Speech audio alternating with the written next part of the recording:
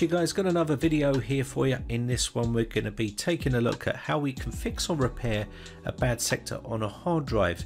Now if you've got bad sectors on your drive and your drive is starting to play up then you can try to attempt to uh, mark those bad sectors as unreadable and then obviously the data will not be written to those sectors. Let's take a look at a piece of software from Victoria which we can use to uh, do exactly this. So I'm going to open this up now this is the software here.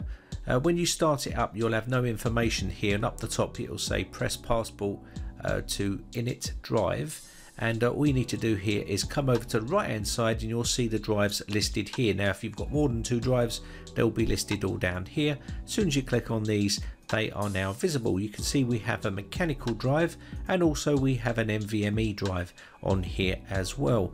Now the tabs up the top that says standard smart tests advanced and setup these are your tabs that you've got and also it gives you information about that drive here. So if I click on the top drive you can see it will give you some information about the model number, the firmware number and the serial number. Now if your drive is still under warranty, as some drives do have a quite a lengthy warranty, you can send that drive off if it's starting to fail and get a replacement.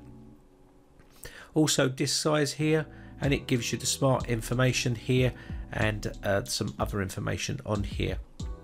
Now down the bottom it will tell you uh, the speed of the drive 7200 revs per minute and stuff like that. Also uh, over here you can see this is the LBA uh, from zero to the uh, maximum of what it is here. We'll take a look at that in a second.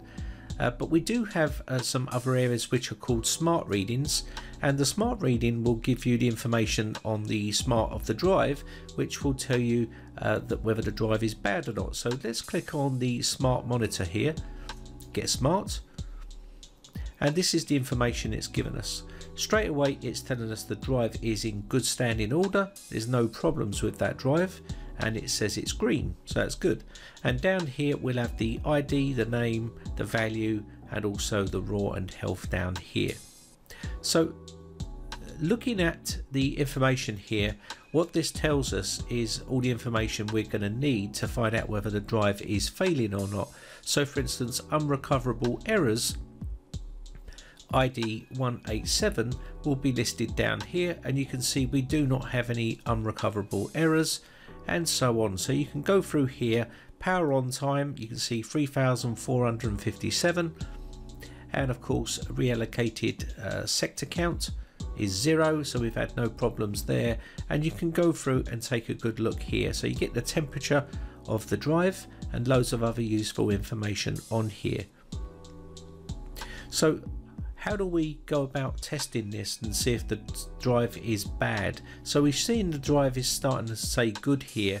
Now just a quick test here. By clicking on the test uh, button at the top you'll see this grey area here and this will allow us to do a surface test of that drive and to find out whether there's any bad sectors on that drive. Now the down here will be the sort of color scheme they're using here green orange red and blue here and any of these that are lit up here like um, from orange red and blue these are going to tell you uh, whether you've got any problems with the drive and they will be listed on here. We also have the start LBA here which is starting from zero and the end is starting at the end here with this big long number. So as soon as we push the start here this number will start to count down here. So let's get that started and you can see it will give you some information here about what's going on. And these are your reads here. You can see it's starting to do a surface scan on that drive and it's now counting down.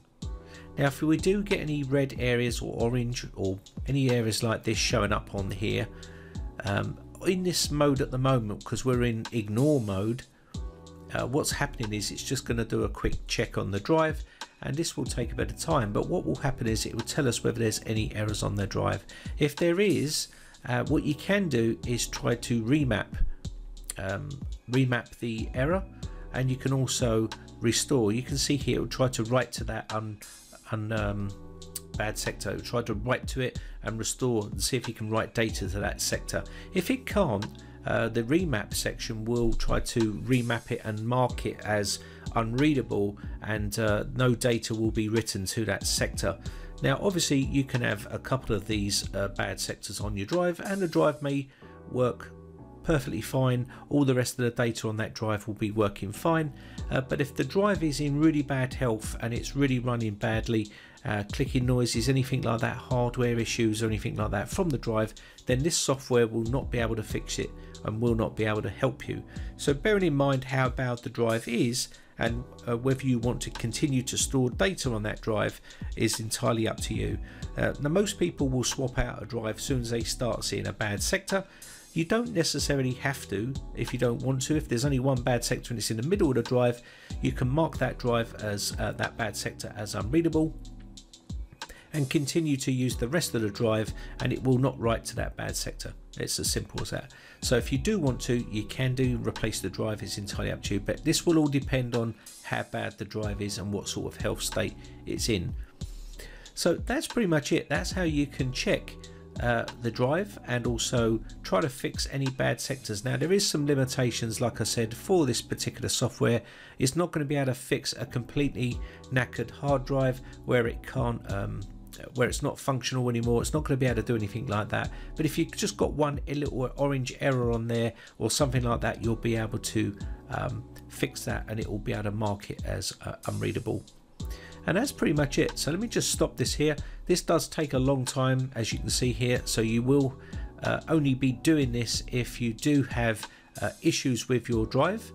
And uh, if you've got issues with your drive then you want to test and this is how you can do it. Also here you can see end end of test uh, stop spindle uh, loop test hard drive power uh, power off and also shut PC uh, shut down PC so you can uh, change these here. And that's pretty much it for this video. So I think I'm going to wrap this one up. You do have a couple of more tabs up here which I'm not going to cover in this video which are your setup and also your advanced area here but anyway that's about it for this video I hope this one helps you out my name is Brian from briteccomputers.co.uk. thanks again for watching guys and thanks for your continued support bye for now now if you haven't subscribed yet hit the big red subscribe button on my YouTube channel and hit the bell notification button next to that to be notified when we upload new videos.